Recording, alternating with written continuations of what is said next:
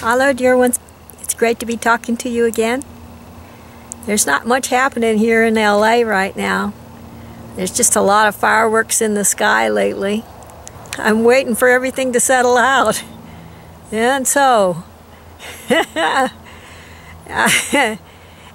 uh, it doesn't really have a chance to settle because the minute I start settling down, um, seems like there's more fireworks in the sky, you know. so, um, I had a talk with Bill Ballard today. He's uh, he, he's been doing uh, from time to time spiritual counseling for me.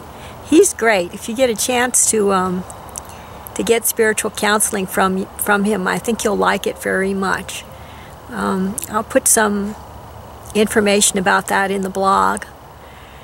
And uh, just by way of passing, an interesting thing that he mentioned today is that some of the light workers right now are feeling the men or some are some of them are feeling like a pain in their right arm or, or shoulder, and some of the women are feeling a pain in their left shoulder.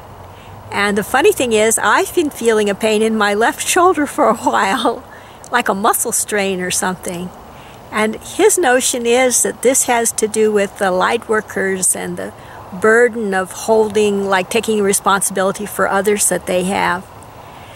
So uh, I'm thinking that maybe the time has come for the light workers to just set that burden aside and just um, be with the love in their hearts, maybe in a, uh, a quiet place, and um, be at one with themselves and at peace with the world and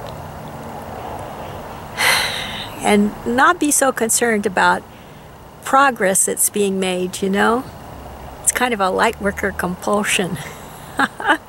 so people make progress. This is I firmly believe this is an evolutionary planet, meaning that things are getting better as time goes on.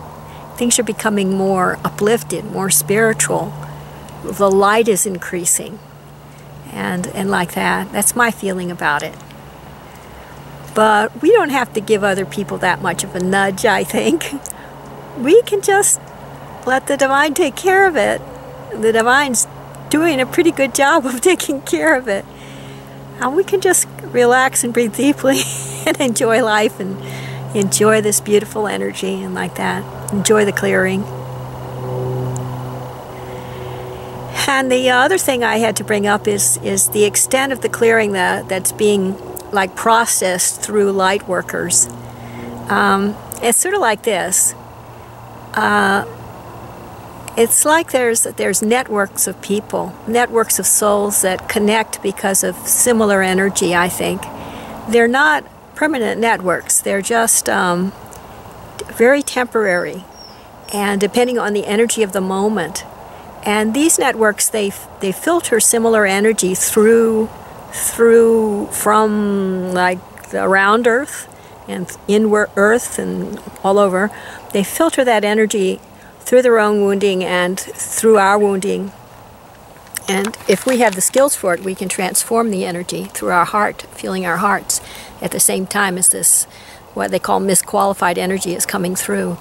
So, um, uh, depending on the situation, like moment to moment, um, we as light workers can be transforming a lot of energy that's passing through a lot of other people and and passing through some slight misqualification in our own like aura too.